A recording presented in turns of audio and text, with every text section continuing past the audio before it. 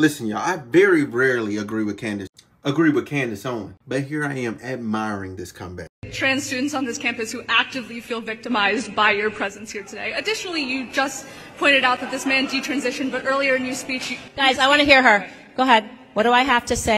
Oh, wait, there's more. Just the question, please. No speech. What is the question? what do you have to say to the trans students on this campus who feel actively victimized by your presence here? Life's tough. Get a helmet, man. I'm too pregnant for this. Next question. That response is base as fuck, okay? You cannot like her. You cannot agree with her politics. But that response is cooking. Now let me explain something to you. Look, if there was a race holding a seminar at my college, guess what my black ass wouldn't do?